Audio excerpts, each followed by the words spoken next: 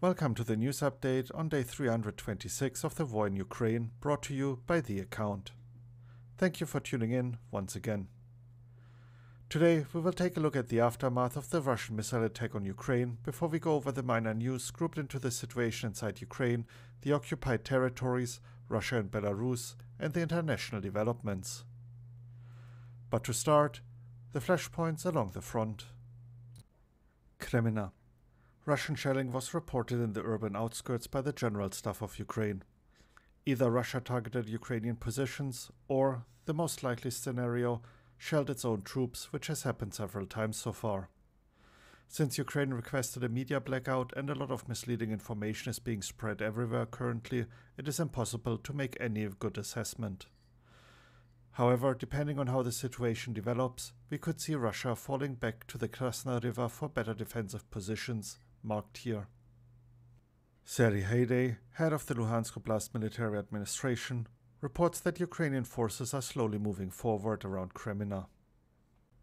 Soledar. Russia reportedly captured salt mine number 7, which we saw yesterday in a video with a Ukrainian flag mounted on one of the buildings. At best, Ukraine is now holding on to only a very small part of the outskirts on the other side of the train tracks marked here. No information about the battles for the Soledar settlement of Sila are available. The spokesperson for the eastern grouping of the armed forces of Ukraine, Serhiy Cherevati, said fighting in Soledar is ongoing with 32 clashes and 119 Russian soldiers killed over the past 24 hours. According to him, Russian forces have to climb over the bodies of their fallen comrades to advance. Bakhmut. Russia continues to attack Bakhmut and the surrounding settlements. Opytne is currently stalled. In the east, Ukraine seems to have made some gains towards the champagne factory, but this is not confirmed. South of Bakhmut, Russia continues to try and storm Klishchivka without much success. And to start the news segment, the latest reports on the aftermath of the Russian missile attack on Ukraine yesterday. During the Russian missile attack yesterday, 50 houses, 3 schools, 2 kindergartens, and an administrative building were damaged in the city of Kryvyi Rih. Due to damage to critical infrastructure, electrical generation in Ukraine has decreased drastically. Serhiy Kovalenko, CEO of Ukrainian energy supplier Yasno, warned that Ukrainians will have to prepare for long term blackouts. The situation is dire enough for Ukrenergo to significantly limit consumption throughout Ukraine and in Kiev particular. A three day mourning period has been announced in the city of Dnipro, where an apartment building was destroyed during the Russian missile attack. So far, it is known that 75 civilians were injured, and rescuers have recovered the bodies of 30 victims killed in the attack. Currently, they are still looking for 30 to 40 missing people. One woman was lucky to survive. She spent 10 hours trapped under the rubble after rescue workers could hear her muffled calls for help during a minute of silence and managed to pull her out. Sadly, according to the mayor of the city, chances to find additional survivors are very slim. According to the Prosecutor General's office, the only unit in Russia with the capability to launch the Kh 22 missile, which is suspected of hitting the building, is the 52nd Guards Heavy Bomber Aviation Regiment. And now for the latest updates out of Ukraine. The Ukrainian Ministry of Defense has reiterated that sharing information about movement or location of the armed forces of Ukraine, which has not been officially released by the General Staff or other authorized sources, is a crime. This might be related to an article by CNN in which journalists reported online that they allegedly saw an organized withdrawal of the armed forces of Ukraine from Soledar. Russia is preparing an information campaign against Ukraine, which may involve Ukrainian journalists, the main intelligence directorate of the Ministry of Defense of Ukraine has warned. According to the warning, Russia will launch a comprehensive fake news campaign in the near future aimed at undermining trust in Ukraine on the part of its Western partners. The goal is to reduce any aid sent by foreign partners as well as gather information on the state of the Ukrainian army. Moving on to the latest out of the occupied territories. According to Yevhen Yerin, a spokesperson for the Southern Command of Ukrainian forces, Russia has begun preparations to repel any Ukrainian offensives in the south. Parts of the front line has seen an increase in deployed personnel, and Russia has begun trying to conscript locals. The mayor of Melitopol, Ivan Fedorov, stated that Russian occupiers have not let a single civilian leave the occupied areas for Zaporizhia in the past week. Meanwhile, Russia has intensified filtration measures at checkpoints. To enter Crimea, for example, fingerprints and DNA samples are collected. Now for the news updates from Russia and Belarus. In Belgorod Oblast, a senior sergeant detonated an anti personnel fragmentation grenade on the premises of a military base. The explosion caused a large scale fire, which led to the detonation of an ammunition storage facility. Three soldiers were killed, 16 injured, and eight are still missing. Russia has expanded its active fleet in the Black Sea to 16 warships, six of them missile carriers with approximately 40 Kalibr missiles. And to wrap up the news segment, the international developments. The government of the United Kingdom has confirmed plans to provide Ukraine with a squadron of 14 Challenger 2 tanks and about 30 155mm AS 90 self propelled artillery systems. UK defense and security officials believe that a window has opened in which Russia is retreating due to supply problems and plummeting morale and urged allies to deploy their support as well.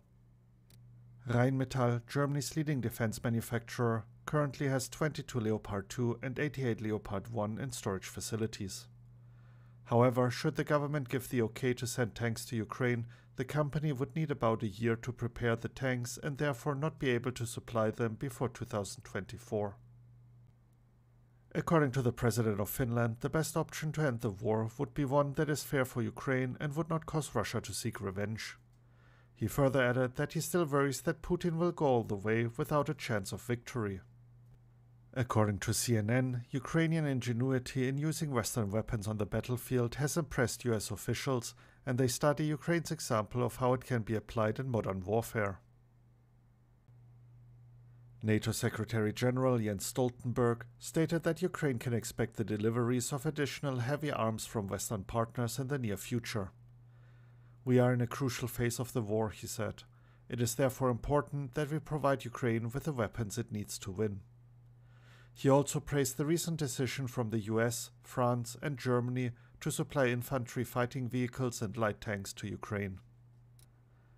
Roderich Kiesewetter, a member of the Christian Democratic Union of Germany in the Bundestag, suggested Germany could buy back Gepard anti aircraft systems from Qatar and provide them to Ukraine. The Gepard tanks are no longer needed there. They are in working conditions, so I think it would be good to buy them back, we should do everything that can contribute to the victory of Ukraine, he stated.